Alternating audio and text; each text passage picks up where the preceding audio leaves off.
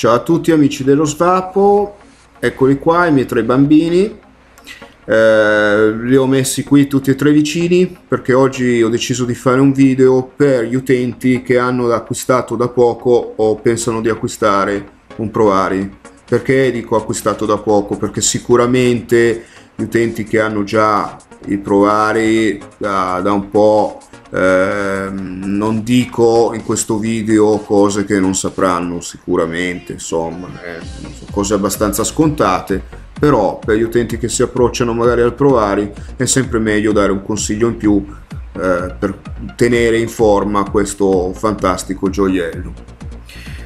Allora, parliamo di manutenzione e come prendersi cura del Provari.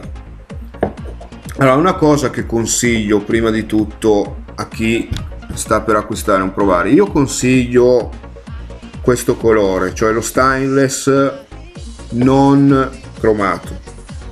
È molto bello questo però io per tenerlo così veramente lo utilizzo poco e esclusivamente solo a casa perché a lungo andare questo si, trova, si vedranno sicuramente se lo portate in giro si vedranno sicuramente dei micro graffietti mm è inevitabile.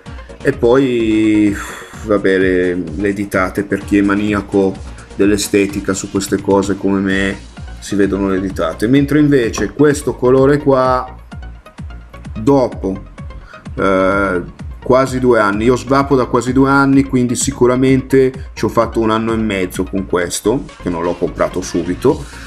Eh, questa è ancora la versione che aveva la scritta eh, non incavata eh, questa è la versione 2.5 questa è la versione 2 e aveva la scritta dipinta insomma che è la prima cosa che si consuma eh, hanno risolto questo problema eh, importante, eh, io consiglio questo perché guardate, dopo un anno e mezzo di utilizzo quotidiano, tutti i giorni ho utilizzato questo Provari dappertutto, l'ho portato anche in mare, in spiaggia, al lavoro, in macchina, ovunque è perfetto. Mentre invece con quelli colorati nero, bianco, rosso ehm, li ho visti da altri utenti si formano dei grafici in via la vernice. Questo colore qua è quello che consiglio perché sarà sempre nuovo ok? Allora come prendersi cura del, del provare due cazzate? Due cazzate tenere puliti i pin e poi pensare, prevenire il discorso del tastino e basta. Allora vado a spiegare come tenete pulito il pin eh, centrale che andrà a sporcarsi. Semplicemente mettendo una goccia sopra del vostro liquid oppure eh, imbevete un cotton fioc eh, anche col disinfettante, alcol. Eh. Il liquid io ho visto che pulisce bene comunque se volete disinfettante alcol bagnate un po' il cotton fioc e pulite bene il pin anche la, la filettatura eh? Lo pulite bene.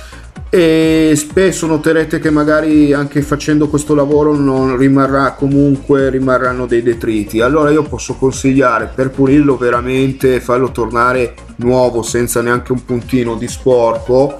Quando è ancora umido potete provare a passare ma veramente delicatamente perché se no lo graffiate. Non succede niente farà sempre contatto ovviamente ma lo graffiate quindi esteticamente possono girare un po' le palle eh, passate un pochettino la punta di una forbicina delle unghie o un cacciavitino tac, tac, tac, piano piano grattate ma fate una cosa molto delicata perché questo materiale è più delicato di quello che possa sembrare eh? se grattate con la punta delle forbici e poi andate a guardare e lo trovate tutto rigato insomma quindi fate una cosa proprio delicata di fino eh. io mi aiuto a volte con una lente di ingrandimento eh. quindi ricapitolando tenere pulito questo pin centrale che quello è la manutenzione che farete più spesso mm. poi all'interno c'è un altro pin che va a far contatto col positivo della batteria anche quello infilato un cotton fioc e lo pulite. State attenti cotton fioc eh, se volete inumidirlo un pochettino che sia appena appena inumidito, cioè non, fa, non inzuppatelo in modo che non vi sgoccioli dentro liquido perché poi potete danneggiare il circuito. O bene che eh, mi possa capitare potrebbe cadere qualche gocciolina ok? Male che vada insomma qualche gocciolina all'interno poi si vede dal display. L'ultima cosa per prevenire il discorso che eh, a lungo andare il circuito si muove quindi il tastino scende io ho fatto un video quindi non sto mm, a dilungarmi più di tanto su questo video andatevelo a guardare se vi interessa e lo consiglio eh? Eh, perché eh, il titolo del, del, video si chiama eh, provare tasto, tasto come nuovo allora, a lungo andare il Provari eh, ha due pezzettini di silicone, si smontano e inizia ad ondolare il, il circuito e il tastino si muove.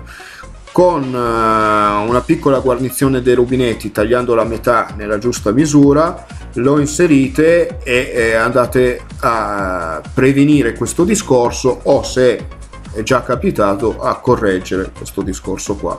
E il tastino ritornerà come nuovo datevelo a vedere lo consiglio. Eh, basta tutto qui. Quindi pin e tastino. Ovviamente questo mh, mm, provare qua se cade difficilmente si rompe. L'unica cosa che vi si può ammaccare sono i bordi del capo e anche qua. Questo discorso qua cadendo non può succedere niente se non eh, o si sposta il circuito. Si graffia insomma prendetevi cura di questo fantastico gioiello. Ciao a tutti ragazzi stay svapo ciao